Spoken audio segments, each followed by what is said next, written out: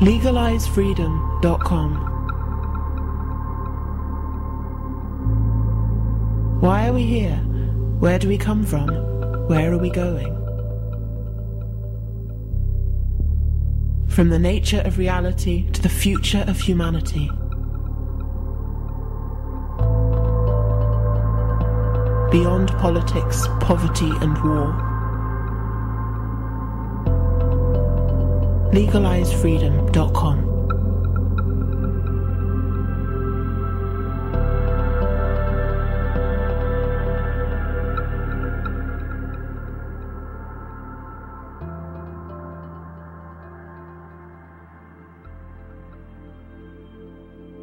Greetings and welcome once again to LegalizeFreedom.com.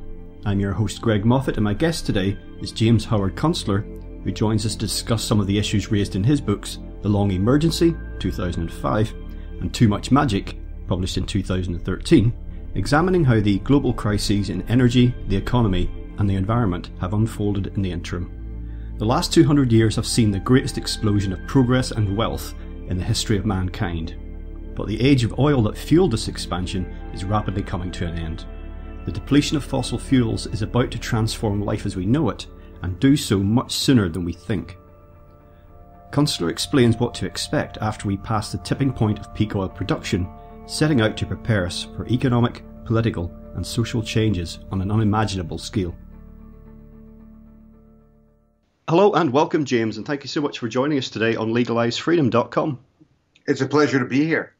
Now, James, today we're going to be discussing a big topic for me here uh, the three E's, so called uh, environment, energy, economy, all of which, plain to see, anybody who looks, are in a profound state of crisis.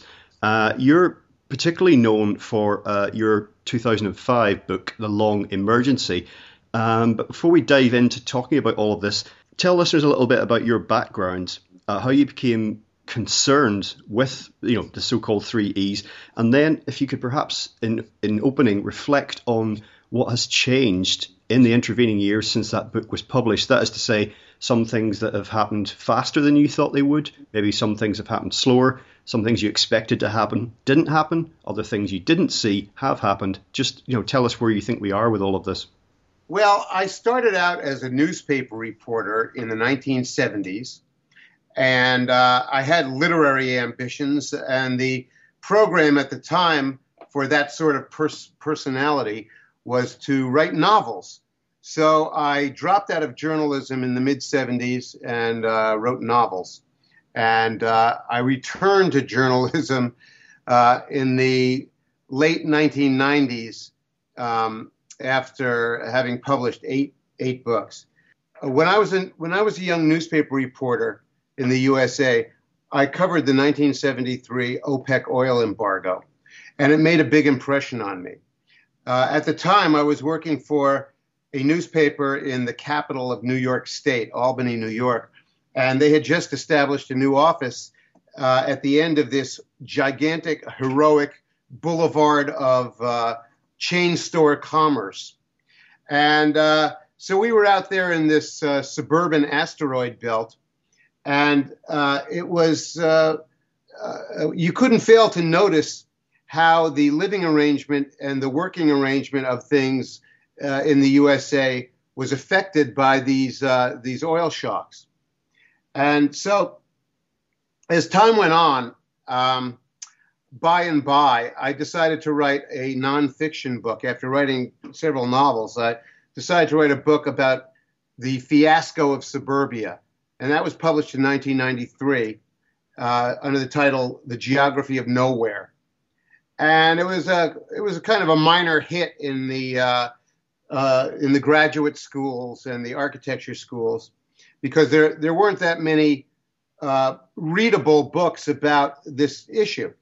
Anyway, um, the idea in that book was that we had evolved a living arrangement in the USA with very poor prospects for carrying on into the future. And um, I wrote a few more books about urban design and, and uh, cities uh, in that vein because I had become involved with a reform movement called the New Urbanists. And uh, uh, these were people who were inspired by uh, the likes of uh, Leon Krier and uh, Christopher Alexander. And uh, the whole idea was, you know, to build a better human habitat uh, in the USA.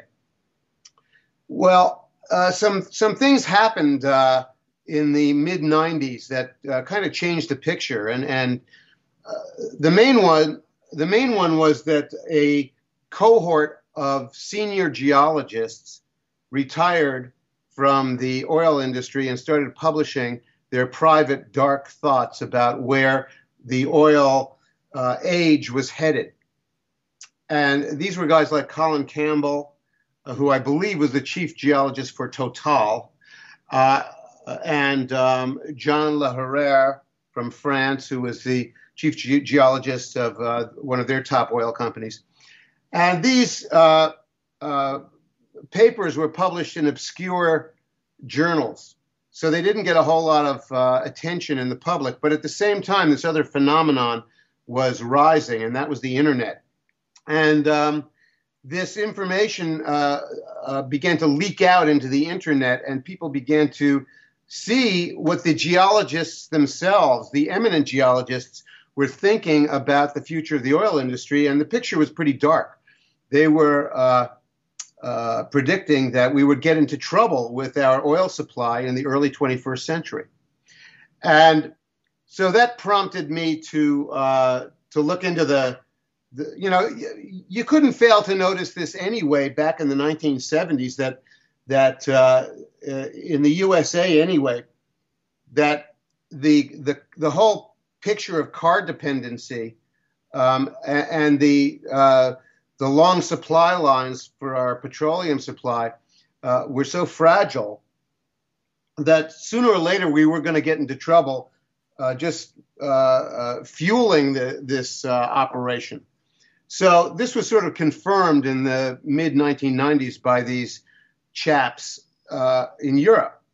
And um, meanwhile, there had been a, a, an eminent geologist in the USA named M. King Hubbert, who uh, had been warning the American oil industry since the 1950s that uh, you know he had developed a model for predicting what the uh, the rise and and uh, fall of the oil industry would be. This came to be known as Hubbert's curve, and um, you know the American public and American leaders and, and, the industry itself really didn't pay a whole lot of attention to him. But of course, uh, as we entered the 21st century, this story began to play out, and we could see very clearly what the effect of uh, being in the twilight of the uh, of the oil industry w- was going to be like. And uh, so, you know, I wrote that book, the the Long Emergency, in the early 2000s, came out in 2005 and uh, shortly we were in a, uh, you know an, another crisis, and uh, this time the crisis really kind of comprehensively uh, damaged the entire economy, and, and, in particular the banking system and, and the, the, financial sector, um, for reasons that we can talk about, because um, the financial sector is um, completely dependent on the energy supply and the, the energy sector. Well, as I mentioned at the top, um, I'd be interested to know what you your analysis of the intervening years. You know, as I say, what has happened that you expected to, uh, maybe some things that you didn't foresee, and in terms of the pace of breakdown and crisis. You know, some things maybe are moving faster than you anticipated. Maybe some things, you know, are, are have stabilized in ways you didn't expect we certainly didn't uh, anticipate that the shale oil industry would ramp up to the extent that it did. But uh, I maintain that it, it had that uh, the, sh- the shale oil phenomenon has a largely illusory uh, character. And uh, it, the shale oil was, we didn't know exactly how we were going to uh, exploit this resource with the what the so-called tight oil in the in the uh, impermeable shale rock. Um, we developed some techniques for blasting it out. It turns out they're very expensive. It turns out that the shale oil industry has never made a profit in America. In fact, it's hemorrhaging money. Um, but it did a good job of demonstrating that you could get oil out of tight rock. The trouble is we can't get it out at a uh, uh, at a cost that we can afford. And um, so my guess is that what will happen is that uh, because the problems with the expensive oil lead directly to the impairment of capital formation, uh, the, the implication is that there will probably be a lot less capital in the future for continuing the incessant drilling operations that are required by shale oil because the wells deplete so rapidly. Um, you know, they uh, they're really uh, done after after three years, and and they decline by at least half uh, in their first year. Uh, it's necessary to to keep on drilling incessantly, and that requires an enormous amount, uh, constant streams of capital, and most of that capital is borrowed. So, um, you know, as they discovered that these companies engaged in this really can't pay that capital back because they're not making a profit, I think we're going to see the shale oil industry really disappear probably in the next 24 months. But we certainly didn't anticipate it, and it has managed to sustain the illusion that we can keep on driving to the Walmart forever in America. Um, I emphasize that it's an illusion. At the same time, uh, the financial system, uh, in particular the central banks, and in particular the, the Federal Reserve Central Bank of the USA, uh, developed a set of gimmicks that allowed us to pretend that the banking system still worked. And this basically had to do with creating a lot of money out of thin air uh, electronically, digital, digitally, and um, pretending to prop up insolvent banks and keep the system going. So we've been we've been managing to do that for the last uh, uh, six or seven years, but I think the truth of the matter is that the uh, the banking system is is perhaps fatally damaged. The functions of the financial markets have been perhaps fatally compromised because the, the interventions and actions of the central banks have destroyed the main function of financial markets, which is called price discovery. And price discovery means that you, you know, very simply, that you can establish the value and the price of virtually, you know, everything that is a financial commodity whether it's a, a stock in a company or the value of a, of a house or a, uh, an ounce of gold or anything. So these interventions have um, are in the process of uh, impairing uh, the banking system and the financial markets to the degree that you know they're going to stop working sooner or later. They're already um, uh, doing very perverse things but we've been able to pretend that they're okay. So, uh, the financial system being the most fragile of all the major systems that we depend on for everyday life, um, it seems to be the case that the failure of the financial system will be the first really big thing that leads us into this long emergency. Two things, uh, just briefly regarding the, the shale oil thing. Uh, one is the question of net energy, which I don't think uh, you know most people don't have any idea of the importance of that. And second, with regard to the financial aspect, we're seeing record high stock prices at the moment, which is you know just doesn't make any sense regarding you know the sentiment seems to be so positive regarding so many things, which is in complete contradiction to all the things that we're we're talking about. And in that light, shale oil is just another bubble, really waiting to burst. Yeah, they're all really bubbles in one way or another. Uh, there's, there, you know, there is a certain amount of capital that's still sloshing around in the world, and particularly the West and the USA. You know, that represents the massive acquired wealth of the industrial age. Um, unfortunately, it's kind of miscegenated with a lot of pretend wealth and a lot of fraudulent wealth and a lot of fraudulent paper pretending that it's wealth and a lot of uh, digital money that's not real. Um, uh, the the ultra low interest rate policy of the central banks has really made it necessary for the large institutional investors to to rush into the stock markets because they can't really make any money that you know they need to make uh, you know five six seven eight percent a year in order to pay out their pensions um, and, and, to uh, you know con- to rationalize their operations in uh, in the sense of insurance companies let's say. But these institutional investors uh, cannot make money in uh, you know safe secure uh, bonds so they're rushing out of those into the stock market. And and there's a lot of uh, frightened money from uh, you know from China, from from from uh, Europe that's rushing into the uh, American stock market, and um, the inflation or, or, bubble nature of the stock markets right now are just another function of the failure of price discovery because what it really means is that these pri- the, these stocks are mispriced.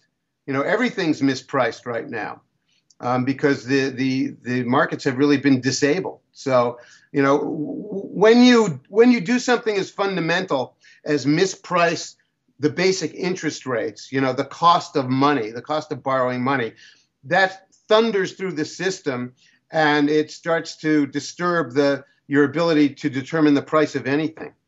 Just before I called you today, I was listening to the news uh, here in the UK, and with regards to interest rates, um, I, I, just heard this comment. This guy said the newsreader was talking to interviewing some you know talking head or other.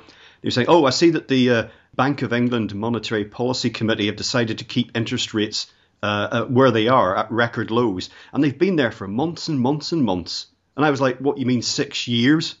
yeah, yeah.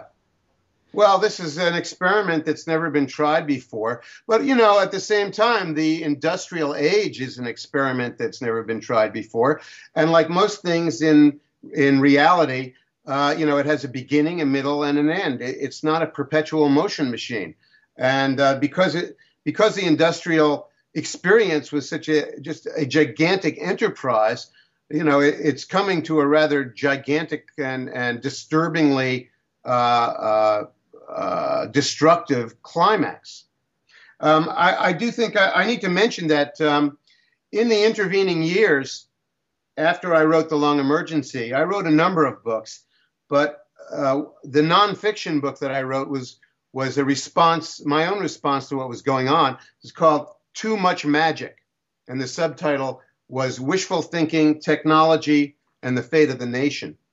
And uh, the reason I wrote it was because you could see very clearly after after 2008, especially after the uh, uh, the fall of Lehman Brothers and the uh, the financial crash in the USA, um, you could see that we had entered this this uh, period of tremendous wishful thinking that uh, the the the American public and our leaders in in in in everything in business, government, academia, really uh, everywhere, our leaders wanted to put over a story that everything was okay and that technology would allow us to uh, keep on running an industrial economy forever and that there was nothing to worry about. So, uh, you know, we we we vested all of our hopes that uh, shale oil would make us the next Saudi Arabia and make us energy independent. None of that is true, of course uh, and that you know we would find some technological workaround for running all the cars, because another theme of uh, the wishful thinking meme is that we're going to that everybody will shift to electric cars, uh, and uh, you know we'll, we'll, be just fine.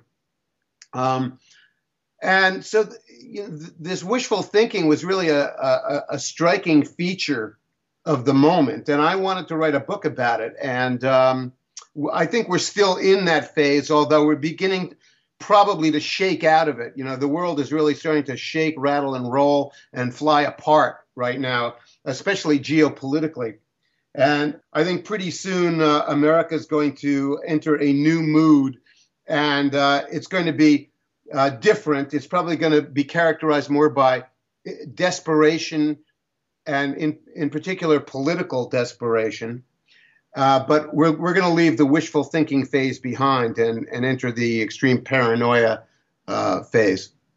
Yeah, I'm going to title this talk actually Too Much Magic because that's your most up to date kind of summation of where we are. Basically, as you say, that the 2008 crash wasn't just a, another blip. It's actually the beginning of the end of something. That, that vision of post war optimism, you know, with future filled with microwaves and televisions for everyone and two car families and eventually domed cities and holidays on the moon, all of that sort of stuff was only ever science fiction. Yeah, well, and and it's still funny that uh, you know we're still talking about uh, going to other planets, and we're doing a very poor job of inhabiting this one. Yeah, I must admit, as, as fascinated as I've been all my life with astronomy and the possibility of space travel, it does seem kind of delusional thinking that you hear from those sort of circles. But I think the facts on the ground kind of speak to the truth, and that's where what NASA are up to. They seem to be compiling all sorts of reports on the state of mankind. I don't see them doing too much work on getting to Mars or anything like that. And uh, you look at, um, you know, what was it? Obama cancelled the uh, the I can't remember what it was called. The name of the so-called mission to return to the moon, and the reason he gave was because well, we've already been there. You know. well, been there and done that. Yeah, so it's like as if it, as if we could go back to the moon that we wouldn't do that. Of course we would. You know, who wouldn't like to see a return to the moon? But uh, but no, you know. Well, it's just really kind of a stunt, you know, just like the the kind of stunts that that we see, the kind of art stunts that we now see in all the major art museums of the world. You know, we we become kind of a a, a stunt throwing uh, culture. We you know we we seem to want to impress ourselves.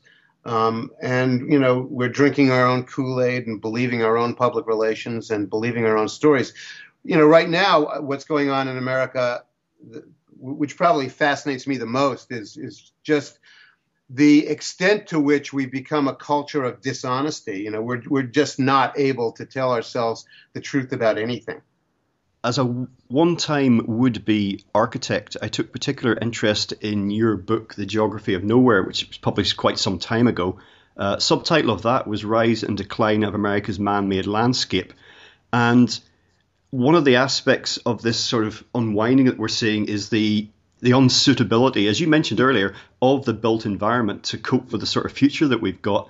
And I know that there's a quite a striking contrast between the US and Europe in this regard. Of course, you can't just treat Europe as one homogenous mass, but it does seem that the old what remains of the old cities of Europe will be somewhat better able to cope with the decline of the petroleum age, whereas a lot of US infrastructure is entirely designed, again, as this post war boom, entirely designed around uh, the motor car.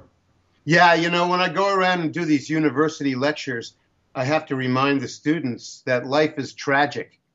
You know, uh, that used to be a regular module of a liberal education in America, but they, they managed to, to take it out over the last 20 years. It's not there anymore. So it comes as a great surprise to the students when I say life is tragic. And by that, I don't mean that everything has a bad ending. Uh, I don't mean that at all. What I mean is that, uh, you know, uh, there are consequences to the decisions and the choices that we make. And we made a lot of bad choices in America. And now we're faced with uh, what Robert Louis Stevenson called the banquet of consequence. And, uh, you know, the, the main one for the, for the moment being that we, uh, we built a living arrangement with no future. That is the main characteristic of American suburbia. It's a living arrangement with no future.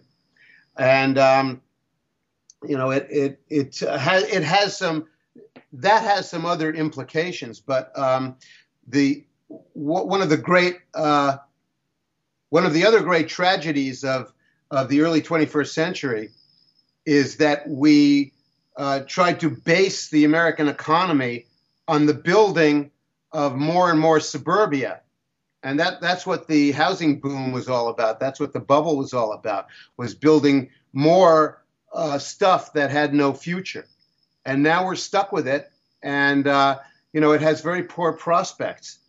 And uh, unfortunately, we managed to destroy our cities in the process, except for, uh, let's say, New York, Boston, Washington, you know, and, and a handful of other places. But we also made some bad decisions in our cities. For example, you know, it's my belief that the cities that are overburdened with skyscrapers are getting are, are going to get into a lot of trouble. And in the USA, that mostly means New York City and it mostly means Manhattan. And I think what we're going to discover is that the skyscraper is an obsolete building form and that uh, uh, they have to be regarded as liabilities, not as assets. And it's not because of the heating or air conditioning or running the air, uh, the the elevators per se. It, it's a much deeper problem, uh, which is that these buildings will never be renovated. Uh, we're not going to be in the same economy that allowed them to be built in the first place. And the capital for renovating them will not be there. And probably the modular building materials will not be there. You know, even things as uh, as mundane as uh, the gypsum board, the sheetrock that that you know has to be changed out periodically in buildings, and um, so you know we're gonna we're gonna have these cities that uh, have buildings in them that can't be reused after one generation, and that's going to be a big problem. I think that the you know the uh, Europe Europe made some fortunate choices uh, after the Second World War. And um, one of them was to not suburbanize and, and to not get rid of uh, the European city and not and to not redevelop it for the most part at the gigantic scale, at least not at the center. So many European cities are still are still scaled to uh, uh, a, kind of economy that uh, you know may be more in line with the uh, resource realities and capital realities of the future. But of course, you know, Europe also faces some extremely grave problems, especially with energy. And uh, I don't think there's any question that the big cities all over the world are going to have to contract and probably contract quite a bit.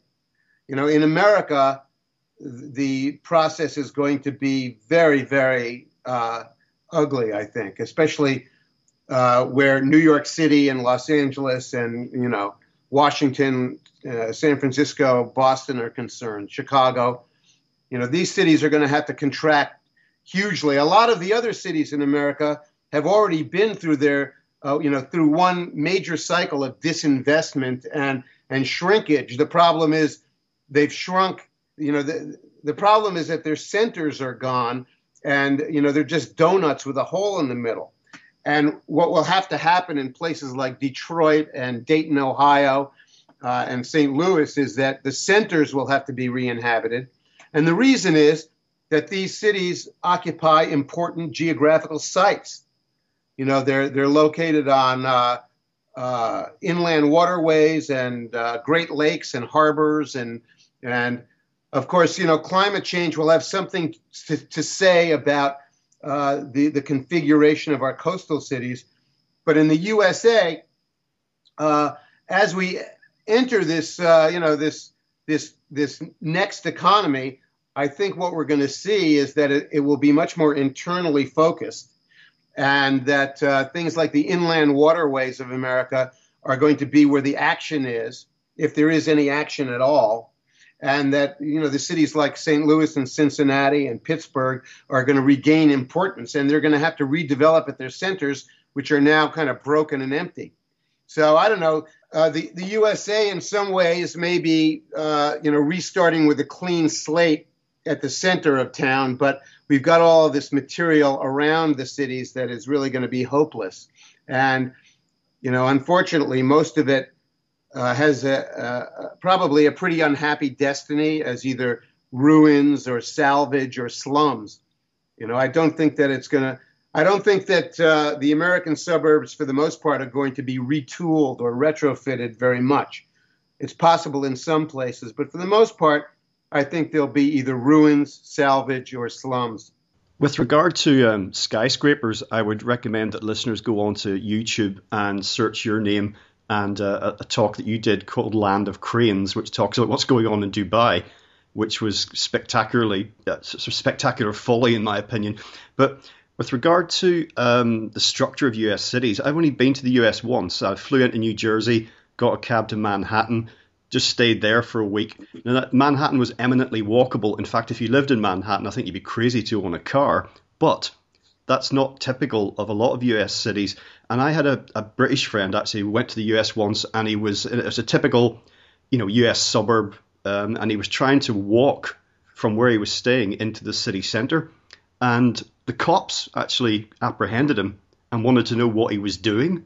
Oh, and he yeah. sort of saying, "Well, I'm walk- walking into the city," and they were kind of like, "Oh, okay, that's pretty suspicious behavior." Oh yeah, in in you know many places out in the heartland, you know, like Dallas and Minneapolis and Wichita, you know, uh, the only people who are walking along the road are uh, the mentally ill or winos or displaced persons.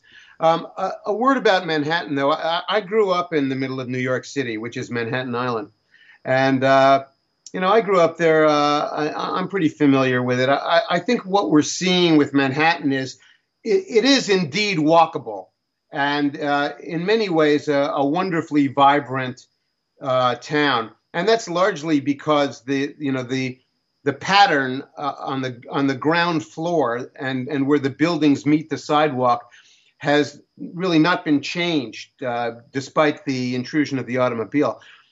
The the problem with Manhattan though is that the scale of everything in it has gotten so colossal that you know it's really uh, it, it's really not going to work in, in the next economy. So, despite the walkability of Manhattan, it's burdened with too many other problems that are going to create enormous difficulties, including the uh, the enormity of the infrastructure that's necessary to service all of these gigantic skyscrapers and apartment towers. You know, I, you know, it, it's a magical, marvelous construction and and uh, you know a place of amazement and a wonder of the world and a wonder of the time that it was built. But unfortunately, uh, it's not something that has very bright prospects. And I, I think New York, in particular, uh, my hometown, is, is going to be in very sad shape in another 30 years. I'm a great fan of the train network, which you mentioned. Uh, unfortunately, it seems that the train network in the US has been allowed to atrophy. Uh, that's something maybe needs to be redeveloped. But the question is, are you going to have the resources to redevelop it in future? And you also mentioned the inland waterways. Again, another important resource. Maybe that can be brought back into life. They, they are actually still okay. Uh, one of the features of American life that's rather strange is that um, the canal system, uh, at least the the uh, the canal system between the Hudson River and the Great Lakes and the St. Lawrence River, in New York State has been maintained immaculately um, for for decades, despite the fact that it isn't used a whole lot. Um, so, uh, you know, I think we'll be able to use the the, the inland waterways pretty well. Um, the railroads are another story, and and that part of that story is a too much magic uh, symptom. You know, we've been we've been blathering in the USA about uh, building a high speed rail network and it's just never going to happen at this point. We missed the window of opportunity. Uh, other nations were able to do that. You know, they built their systems in the 70s, 80s, 90s. You know, France and Spain and Germany. Uh, China uh, built a pretty good system in the 90s uh, and the, the early 21st century. But we missed the boat on that. Sorry for the mixed metaphor. Uh, the thing is, we have a marvelous conventional railroad system that is just lying out there rusting away in the rain. And it was once the envy of the world. And we're doing nothing to repair or maintain that. And, you know, that's the real tragedy because we're, we're desperately going to need a conventional railroad system. Um, when, when we really get into the, uh, the twilight of happy motoring, we're going to have to remember this is a, a big uh, continental sized country here in the USA, and we're not going to be able to get around it if we don't have a conventional railroad system. And, and um, the American public's not interested, and our politicians aren't interested. And uh, the, uh, the one high speed line that even got into uh, uh, that even got budgeted and and and began to be underway was a line between uh, Sacramento, California, and and Southern California. Uh, my guess is that that line will never be finished. It's barely been started, but probably will never get finished. And there are no other high-speed uh, rail lines in America under construction now. So, you know, we have to repair the conventional railroad system. We're not doing it. It's one of the dumber things that any uh, civilization has ever done or failed to do. And, uh, you know, it's tragic. It's one of the many tragedies that we're enduring here. Now, a uh, current proposal for the UK government is to build something called HS2, which simply is High Speed 2. And this is a real extension to the rail network that's proposed to connect, come out from London, go, go up initially into the, uh, the Midlands of the UK, eventually to the north of England, and ultimately the idea is to go into the south of Scotland. And this is planned to start construction in 2017, finish in 2032. That's 15 years it's going to take. The government's costing for this is 43 billion. Independent costing for the program is 80 billion, and you can be sure that nothing the government ever does comes in under budget. It's always well over budget. Now, we've been talking about trains. I'm a great fan of the trains. Um, I actually sold my car in January. I just use the trains now. Uh-huh. But I think that this program, uh, the, this UK one, is actually folly. I think it will be a, a huge mistake to spend all that money. One of the proposed benefits, for example, is it's going to, if you're living in the north of England, instead of taking two and a half hours to get to London, it would take two hours. I don't think that's a good use of the money. And what I think all of this smacks of is growthism because they're talking about oh think of the jobs think about the economic growth. And this brings us on to something else i want to talk about is this perpetual growth paradigm that we struggle under. And we know we have a debt-based economy that depends on it but it's becoming manifestly clear not just in the banking system that we can't just grow forever no matter what our economic system demands. Yeah, well, uh, I, I, think that you're probably seeing a similar kind of folly in the UK that we have here in the U.S. And uh, uh, the UK uh, did quite a bit to dismantle its own railroad system in the late 20th century.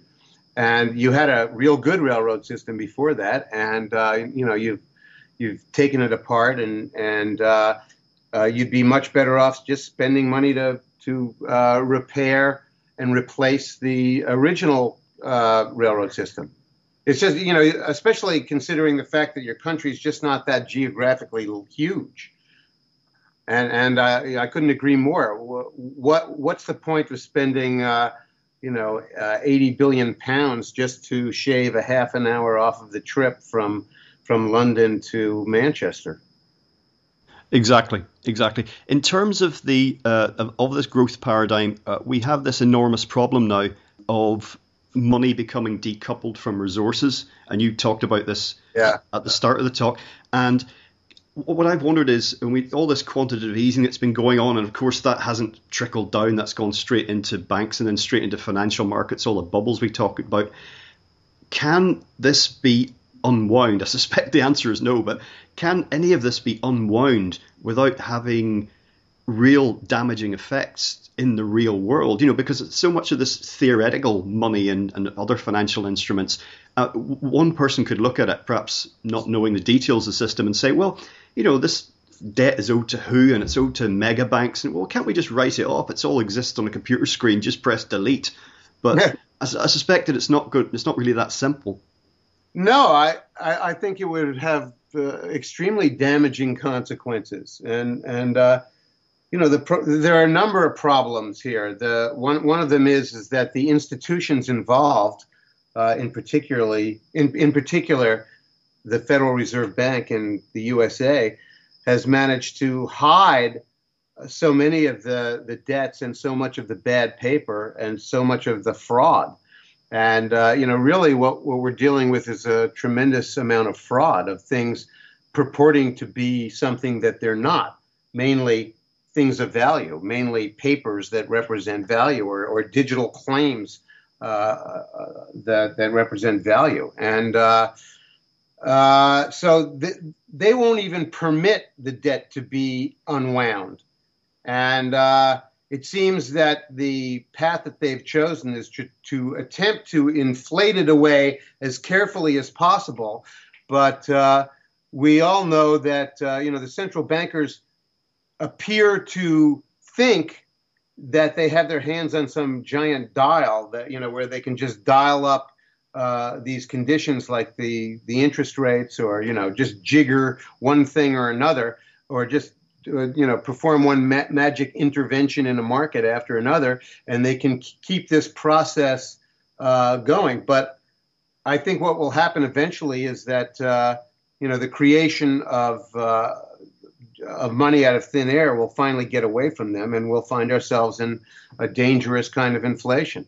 And and uh, if we actually did allow the debt to be written off, we would find ourselves in a probably very uh, destructive deflationary situation. And the difference is really, you know, between deflation and inflation is that in deflation, nobody has any money. Money disappears. Uh, money isn't around anymore because uh, because money in our system is debt, or, or, or, money is created out of debt. And when the debts can't be repaid, the money disappears. So uh, uh in a deflation, nobody has any money. In an inflation, uh, everybody has plenty of money, but the money is worthless. So either way, you're broke. And uh, what, we're, what we're ultimately faced with is the fact that we have a society that has less wealth than it thought it had. And um, what, what complicates things is that we're entering a situation now where we desperately need to, to continually roll over debt and create new debt and, and you know extend new credit and we can't do that anymore because one of the uh, unfortunate conditions of reaching the limits of an energy resource is that uh, uh, this this kind of economy needs continuous growth of uh, of energy resources in order to allow the continuous growth of debt and credit, and and so when that uh, amount of energy uh, resource input stops growing, then your ability to uh, uh, generate new debt, uh, you lose the ability to generate new debt. You can no longer service the old debt, and um, uh, you're really uh, kind of trapped. And that's the predicament that the central banks find themselves in now. Now, this coming to the end of an energy resource um, overlaps uh, very much with uh, what's physically happening on the planet, you know, with regards to climate, but also, you know, physical resources. It's not, you know, beyond simply um, oil and you know and other fossil fuels. There's no life without water. It, the, this growth paradigm that I've talked about has been putting tremendous strains on lots of other natural resources, and I think that uh, whether it's tied into climate effects or not, I think some of the water shortages and problems that we're seeing there are one of the things I think is going to be is going to bite most. It's going to be one of those things that will impact people's lives and wake them up to the fact that, well, actually, there is something going on here. I mean, you look at the tremendous problems facing cities like, particularly Las Vegas has been in the news recently, but all of California, Nevada, Arizona, Florida, and that, of course, will eventually move north. You know, uh, a lot of the American West that was settled is becoming unsettled because basically returning to desert. Yeah, well, there's no question. We we have uh, terrible water problems in California and the American West. Um, the, these things are kind of self-evident right now, although they tend to be regionalized. But uh, the larger point you're making is that uh, we're, we're, running into limits with just about everything. There's real, in fact, there's almost nothing that we need or use that you could you could list that we're not in trouble with. We're tr- we're in trouble with ores you know, where we get our minerals from. Uh, the quality of our ores has been declining very, very steeply. So now that, you know, it, to, to get tiny little bits of, uh, you know, useful metals, you have to move mountains of dirt and, and process mountains of rock to get that. Um, that's a problem. The water problem is obviously tremendous. and uh, you know we're we're destroying our soils at a great rate uh, in doing industrial agriculture the way we do it, and um, of course the uh, the problem that uh, you know I'm accused of not talking about enough is the population uh, overshoot problem, and you know it's a very it's a sad, tragic, uh, desperate, and awful thing to have to talk about. And um, one of the reasons I don't talk about it is that we're not going to do anything about our population overshoot problem. You know, there's not going to be any policy or any protocol, at least not in the USA. And what will happen is that uh, the usual suspects will come in and they'll they'll do their dirty work. You know, famine, uh, war or violence, um, disease, and uh, um, you know these are the these are the ways that uh, population will be managed, and it's it's terrible and and tragic. Uh, an additional tragic thing is that even in periods of hardship, people still have sex and and have babies, so that the uh, the population problem is going to you know the we're, we're going to continue to overpopulate the planet long after it becomes obvious that uh, we can no longer support this number of people. So, you know, the way this plays out has a lot of potential for being tragic and ugly. So, uh, you know, I would just agree with you that just in just about every sense of every resource that you can name, we're we're hitting the wall of limits, and you know, any of them can really uh, uh, terrible problems, and certainly the convergence and, and combination of all of them uh, is going to lead to things that are uh, very hard to deal with. Uh, the public has a hard time understanding some of the dynamics in this. Um, for example, with the kind of agriculture that we practice, uh, you know, industrial agriculture, there are uh, many inputs. You know, one of them is you know oil and, and natural gas based fertilizers and herbicides, et cetera. And we're going to run into trouble with those, of course. But uh, the other biggest uh, input for industrial agriculture is capital. The, these corporate farmers have to borrow immense amounts of money every year. And of course, uh, we're now approaching a, a problem with uh, capital impairment and, and the scarcity of available capital moving into the future. So uh, we can see how this problem with banking and this problem with finance and money is going to start affecting the way that we produce our food. And I don't think that the, the public uh, in the advanced nations really appreciate this kind of dynamic. No, and you mentioned uh, war a few moments ago, and as much as uh, war can be used to uh, provide, especially manufactured wars, can be used to provide a tremendous distraction for domestic populations you know, away from things that are happening closer to home. One of the things I don't think has really been recognised, particularly by the media and reporting this, that a lot of what we're seeing now, these tensions and conflicts, are connected to resources.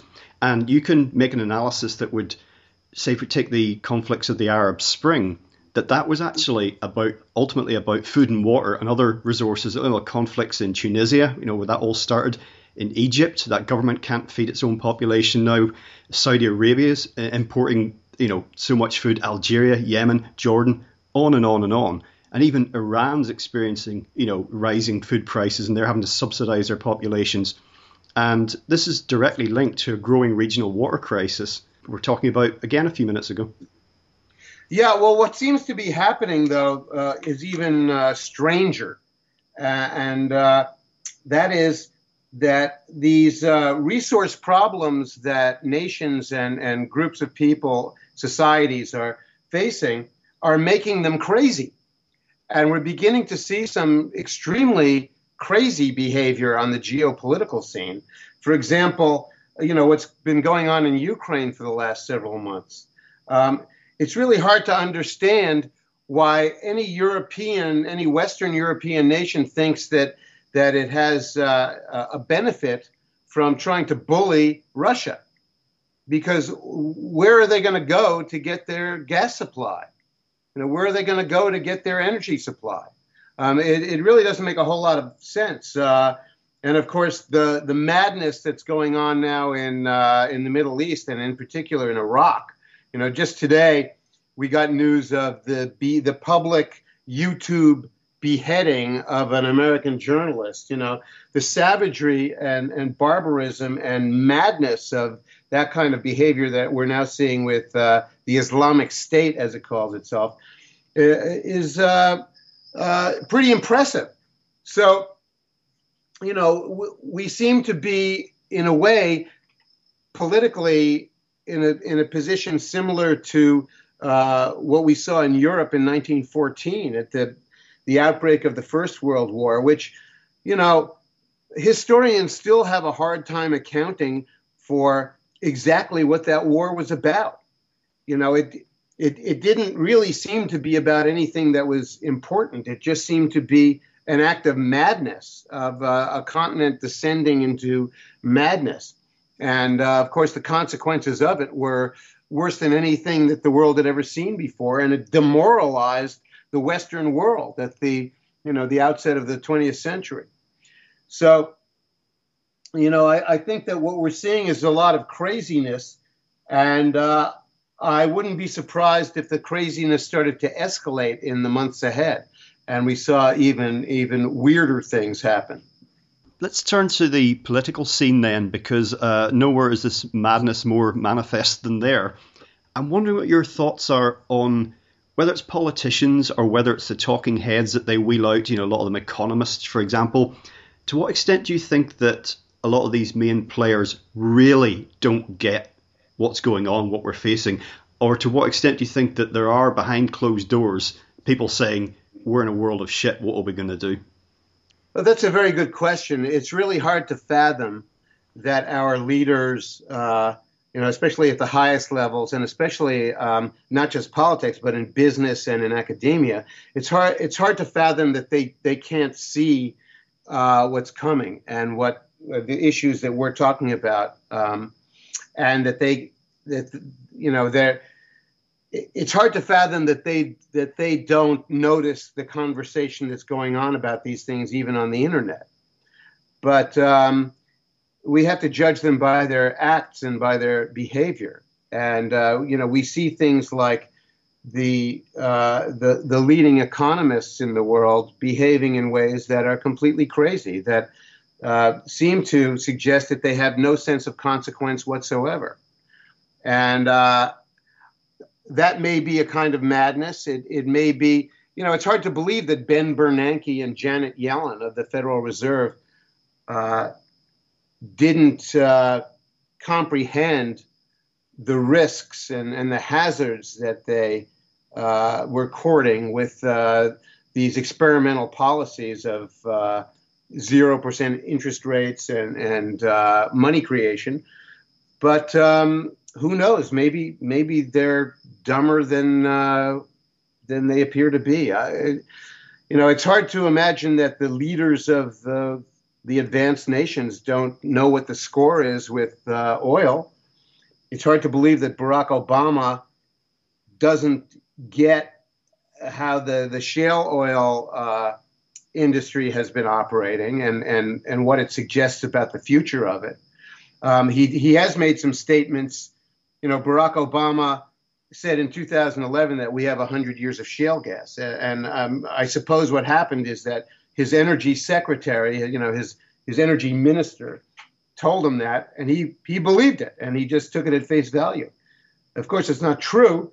Uh, you know, whether he has been informed better since then, we don't know. But uh, it, you know, I, this may be something that only the historians may be able to sort out. Uh, in the meantime, there's just a tremendous amount of irrational behavior, and it, it's very hard to understand why we're doing the things we are. Do you know what? It's like sometimes in more reflective moments, and some of these people, perhaps you know, most of them have got children. You know, I'll look at like innocent little kids playing in the park or something, and I'm saying some of these people are making decisions that are basically looking at the in these kids' eyes, and pardon my French, saying "fuck you."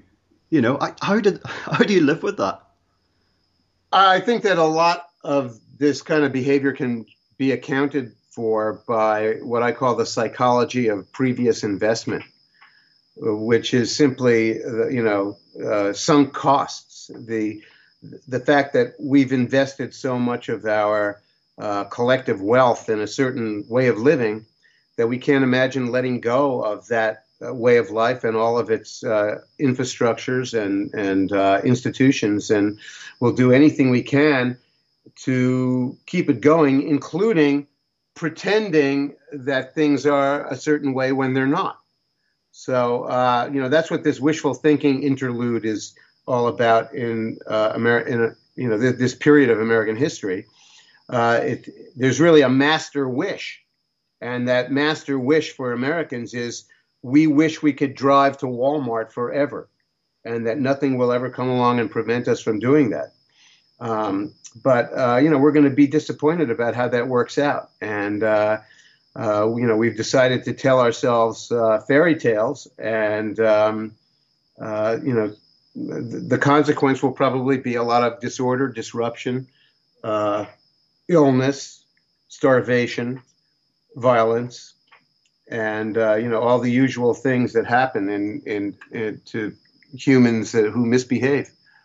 Now I'm paraphrasing you actually from a talk that I listened to about something along the lines of Americans will elect maniacs who will allow them to keep driving to Walmart forever or tell them that they will allow them to. What do you think the prospects are for you know the, the rise of the demagogue? I mean, you can look at uh, say for example like uh, someone like Putin in uh, Russia and say that you know he's a bit of a strong man. He keeps a lid on that country. Lesser men, in, if you want to use that term, might struggle with that. But the rise of the demagogue is always a possibility. And I know in, in your some of your fiction you project off into the future and you see some very dark and dangerous figures arising, and obviously there's a potential for that to really happen.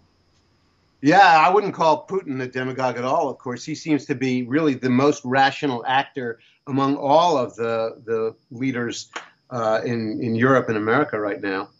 Um, I wrote a series of books after the Long Emergency. Uh, they were novels, and they were set in the post economic collapse American future, the post oil American future. The first was called World Made by Hand, and the whole series ended up uh, going by that uh, the uh, World Made by Hand uh, uh, title. And uh, the second book uh, was called The Witch of Hebron. And the uh, third one just came out. It's called The History of the Future. And in that, I've opened up the story so that one of the characters leaves the small, isolated town in um, upper New York State where, where he comes from and goes out into the heartland of America and discovers that it has uh, broken into several uh, uh, smaller nations. And one of them, the, one of the countries he visits, is a, a new breakaway nation called the Foxfire Republic. And it's composed of several mid southern states. And the leader is a former country singer and TV evangelist, a lady named Loving Morrow who I like to characterize as Dolly Parton meets Hitler. you know, that's been the, the one of the phrases that I've been using in my writing for the last uh, decade has been uh, cornpone Nazis. You know, because I think that America is uh, quite capable of uh, of generating its own really terrible authoritarian, uh, probably theocratic, uh, maniac political system. And uh, I'm kind of surprised that we haven't managed it already, but uh, I think we may be headed there. Um, so this was my way. This, you know, creating this Foxfire Republic and and sending one of my characters into it was my way of trying to get uh, readers to feel what it would be like to really be in in a place like that. Uh, you know, run by the kind of crazy people uh, like that. Well, I'm sure it's not past your attention, you know, what's happening with, like, for example, uh, Golden Dawn in Greece, uh, the resurgence of the National Front in France, and the rise, continuing rise of the UK Independence Party uh, right here. Yeah, well, a lot of that does have to do with the fact that uh, the leadership in the West has just been so feckless that uh, the public in each of these places would probably probably just longs for anybody who pretends to be effective. You know, just just to be effective in itself uh, w- would be seen as a tremendous virtue, even if it was the ability to do things that were terrible. Now, I know that you uh, speak regularly, and I just wonder how you're finding uh, you're speaking public at the moment in terms of cognitive dissonance versus actually you know getting it. And I'm sure all your audiences you know are a spectrum of different outlooks, but I just wonder how you feel that's been changing or progressing over particularly the last few years. You know, since 2008. Well, the the real change was or, or the, the real change was that when, when I first started talking to audiences about these problems, uh, around the time that I published The Long Emergency, they were very interested. And uh, after 2008, when we entered this uh, period of wishful thinking, they lost interest and they decided that these problems weren't real and they just sort of went back to playing with their cell phones. And this was particularly striking among the college and university audiences that I visited because they were really tuned out. They they don't believe that we face any problems, and they think that we're all going to be driving Tesla cars, and that we will, uh, you know, live our lives on our cell phones, and uh, we'll all be hipsters, and that everything's going to be great. And uh, you know, it, it's it's tragic and, and puzzling, and uh, but uh, uh, this seems to be the decision that we've made for the moment. I think that there's great potential for it all blowing apart, and I suppose that it probably will. And when that happens, you know, I think that's when we'll see a lot of real craziness uh, emerge. It's already happening. We're, we're seeing we're seeing a certain amount of craziness right at this moment uh, in the uh, the riots that are occurring in uh, the in the suburbs of St. Louis, Missouri, where uh, a young black guy was shot about ten days ago and uh, uh, you know the what seems to be going on is that you have a an African American part of the public who pretends to want justice, but really doesn't want justice. They want vengeance, and I don't think that they're going to be mollified by anything uh, the, that happens in the in the the rather long, slow, grinding process of the American justice system. And and I think that this is one thing that could get out of hand very easily right away in the USA. Oh, I think what you're seeing in, is Ferguson, isn't it? I believe the the area is so much more than just about the the, the shooting of one black guy.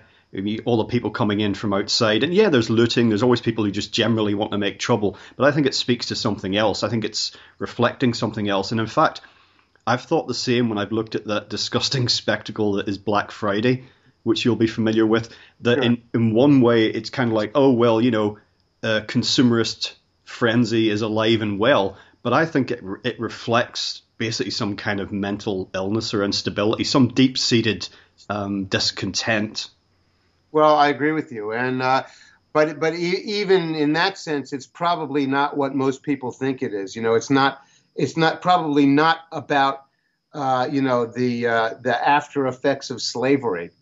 You know, it, it has much more to do with what's going on now and the choices that people are making about their own behavior. For example, the choices that this unfortunate young man made about how he was going to act with the police, you know, which uh, apparently ended up with him getting shot in the head. But uh, I'll leave it at that for the moment. Oh no, I very much agree with you. I wasn't meaning to infer that it was in any way connected with uh, you know Black history in the U.S. I think it's very much a reflection uh, of of right now. Just thinking about the point I made about your speaking engagements, um, presentations that you do. I know you've done at least one TED talk, and I was very curious when I listened to you speak because um, it seems to me, I've not by any means looked at all the TED Talks, I mean, there's hundreds of the things, but that seems to be a sort of a bastion of uh, techno utopianism in some way. Um, I've seen many, many lectures there that are talking about our bright, shiny future, even in the teeth of everything that we're facing. Yeah, well, they asked me to come there. I think it was about what 2006 or something like that. So it was a ways back, um, I didn't know a whole lot about the organization. I didn't particularly uh, care that much. Uh, they didn't pay me uh, to give that talk. They did buy me an airplane ticket and stick me in a hotel uh, while I was there. And uh, I did meet some interesting people, but on the whole, yeah, I I agree with you that uh, TED is one of the great bastions of techno utopian narcissism in the USA or or techno grandiosity, and they uh, in in many ways uh, embody the kind of uh, wishful thinking neurosis that I've been trying to describe. The last time I spoke with John Michael Greer on here, I know you've, you've interviewed him and you're familiar with his work. I asked him about TED, and he said, I won't be asked to give a TED talk. I think it might be in the light of what you just said.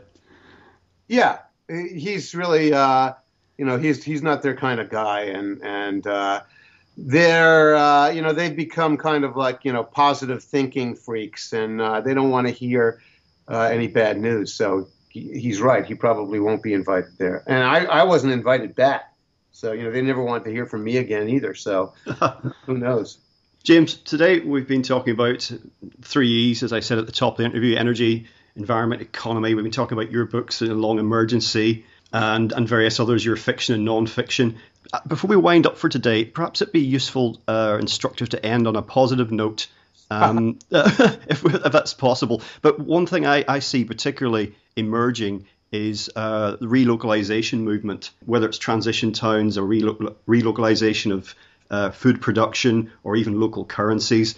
And ultimately, if we're going to live at all and have some sort of future, whatever it looks like, then there are actions, uh, you know, in the face of uh, the all the political apathy and the incompetence of our so-called leaders. There are things that we individually can do. Yeah, um, I agree. Uh, you know, I've done them myself. Um, I grew up in the biggest city in the USA, and I moved to a small town in upstate New York. And uh, I think that the action is going to be in the places that are scaled to the resource and energy realities of the future, including uh, the ability to produce a lot of what you need near to where you are. So that the places that exist in a meaningful relationship with uh, food production uh, and uh, water power and resources like that are going to be more successful. And uh, you know, I made that choice. There are a lot of people who are living in places like Brooklyn, you know, who want to be hipsters, and uh, they'll probably you know hang on there until it becomes impossible to live in a place like that, and that's unfortunate. I do think that uh, there's some awareness that's now being expressed in the form of transition town movements and and similar movements, but really what will happen is that uh, you know societies are emergent organisms, uh, they're emergent phenomena, and that uh, our society, Western Western civilizations, will respond to the circumstances they face uh, as as these circumstances occur, and we'll see how they reorganize themselves. The, you know the uh, uh, emergent things are self-organizing, and they or they self-organize in response to the, you know, that the the circumstances of their time and place. So as it becomes necessary to do some things, we will, you know, we'll do them. The the sad part is that not everybody will really make it, and not everybody will be able to make the, these changes and get to the places that they need to be. Not all the place, not all the people who need to get out of uh, you know, a big unmanageable city are going to get out, uh, and uh, not enough enough young people are going to develop skills that will be of value in uh, the years ahead, it, rather than you know developing skills in video game programming and stuff like that. So, uh, you know, I think that uh, we'll, we're going to see a lot of changes. That uh, the economy of the rest of the 21st century is going to be very, very different and that we'll still be able to find joy and happiness and all of the you know the human verities in this economy and society of the future but it's going to look very different. In closing james tell folks about your website. I know you also have a blog you do a podcast and if it's not out it's just about to come out your new uh, world made by hand novel uh, history of the future. Yeah a history of the future is published by the atlantic monthly press. It's available uh, at all the usual suspects. Um, there's a Kindle aver- there's a Kindle version, and I think that the audiobook is in the works. My website is www.kunstler.com. I publish a blog once a week regularly, on time, every week. Uh, it's called Clusterfuck Nation. Uh, comes out every Monday before 10 o'clock Eastern USA time. Uh, I publish uh, a podcast generally uh, twice a month. The schedule has become a little bit erratic as I have to, you know, get a lot of other work done, but I do get it out a couple of times a month. And uh, I publish some other features on my website, including the uh, beloved eyesore of the month, which is a, uh, a monthly cavalcade of the terrible buildings designed in the world, mostly in the United States. Excellent. Well, James, thank you so much for spending time with us today on legalizefreedom.com. Well, it's been a pleasure to be with you, Greg, and uh, give me another call someday. Well, folks, that's it for another week. As ever, thank you so much for listening. If you enjoy the show, please check out the website. That's legalizefreedom.com, legalize-freedom.com, where you'll find an archive of programs offering alternative views on a wide range of topics, including world affairs, politics and economics, science and technology, religion and spirituality, conspiracy, and alternative history. You can also browse and buy a range of books and DVDs from our guests, and if you're feeling generous, make a donation to help keep the site up and running. Until next time, I'm Greg Moffitt, and you've been listening to LegalizeFreedom.com.